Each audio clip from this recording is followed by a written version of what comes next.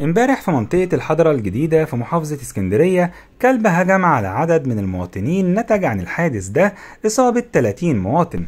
اللي على طول توجهوا لمستشفيات عامة لتلقي العلاج وأخذ جرعات اللقاح اللازمة للوقاية من أي أمراض ممكن تنتج عن الهجوم ده. ما كانتش الحادثة الأولى أو الأخيرة لكن ممكن تكون ناقوس الخطر اللي بتنبهنا لمشكلة كبيرة جدا. كلنا بنعاني منها وبنشوفها بشكل يومي. النهاردة هنفتح مع حضراتكم ملف الكلاب الضالة اللي منتشرة في مناطق كتير حوالينا وبتسبب ذعر للأطفال ورعب للسكان. كمان تقدروا تتابعوا كل جديد لما تشرفونا بالاشتراك في قناتكم تركاية وحكاية وتفعلوا زر الجرس على الكل علشان يجيلكم إشعار بكل جديد. ويا ريت زي ما تعودنا like للحلقة وتقولوا لي في التعليقات حضراتكم كنتوا ال like رقم كام علشان نعرف بعض. أنا أخوكم مراد محمود. ويلا نبدأ.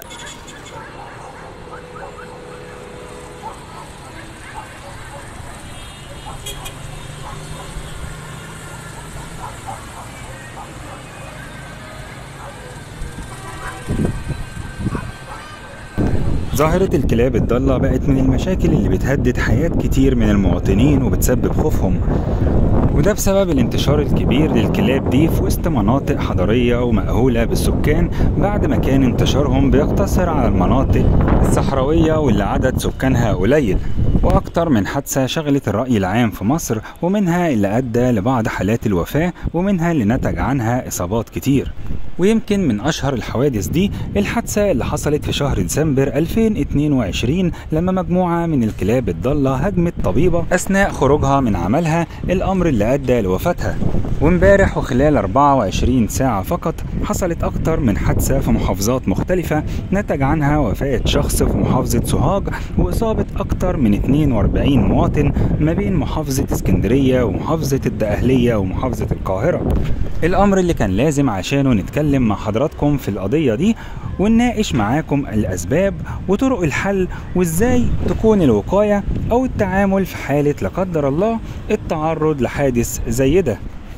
السبب الرئيسي لمهاجمة الكلاب للإنسان هو شعورها بالجوع وعدم حصولها على القدر الكافي من كميات الطعام سواء اللي بتجمعها من صناديق القمامة أو اللي بيقدمها لهم بعض المواطنين. في 2019 بلغ عدد الوفيات نتيجة مهاجمة الكلاب ل 100 شخص وتسجل أكثر من 400 ألف بلاغ في أماكن متفرقة. وحسب دراسة أعدتها وزارة الزراعة من سنتين إن عدد الكلاب الضالة وصل لأكثر من 20 مليون. ونسبة الزيادة في عددهم بتصل ل 20% سنويا وتكلفة توفير الأمصال وصلت ل 146 مليون جنيه سنة 2019 مشكلة كبيرة ومكلفة والتخلص منهم عن طريق القتل سواء بالسم أو بأي طريقة تانية ما بقاش حل. وخصوصا إن المادة رقم 357 من قانون العقوبات بتعاقب بالحبس والغرامة عن مدة لا تزيد عن ست شهور كل من يثبت في حقه قتل حيوان عمدا بدون مقتضى. كمان في فتوى لدار الإفتاء المصرية إنه لا يجوز قتل حيوان إلا ما تحقق ضرر منه. الأول كانت بتنتشر الكلاب في المدن القريبة من الظهير الصحراوي علشان كانت بتوجه للحصول على الطعام من صناديق القمامة وبعدين ترجع تاني لمكانها في الصحراء. لكن دلوقتي انتشرت بشكل كثيف داخل المدن والميادين العامة زي الميدان اللي حضراتكم بتشوفوه دلوقتي ومن المفترض إنه من أرقى مناطق اسكندرية.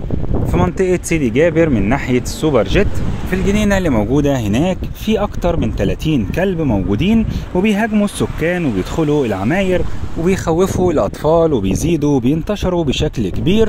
وفي منهم اللي بيحمل أمراض زي الجرب وغيره. وفقا لمعايير المنظمة العالمية للصحة الحيوانية إنه لا يجوز قتل أو جرح حيوان. ده غير إن وجود الكلاب أصلا بيساعد على التوازن البيئي. لكن زي ما حضراتكم عارفين إن أي حاجة بتزيد عن حدها بتتقلب لضدها.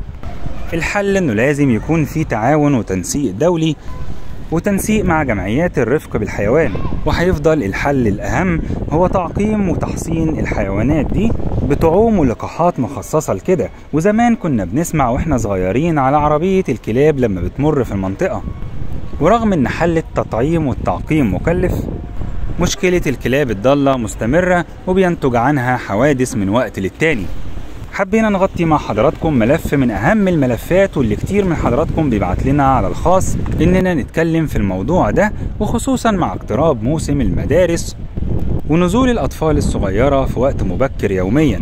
علشان كده حبينا نفتح مع حضراتكم الملف ده يمكن يكون فيه حل. قولوا لي في التعليقات إيه الحل اللي حضراتكم تقترحوه؟ ولو حابين تتابعوا معانا كل جديد يا ريت تشرفوني بالاشتراك في قناتكم تركاية وحكاية وتفعلوا زر الجرس على الكل علشان يجيلكم إشعار بكل جديد. ويا ريت زي ما اتعودنا like للحلقة وتقولوا لي في التعليقات حضراتكم كنتوا ال like رقم كام علشان نعرف بعض. أنا أخوكم مراد محمود وشكرا لكم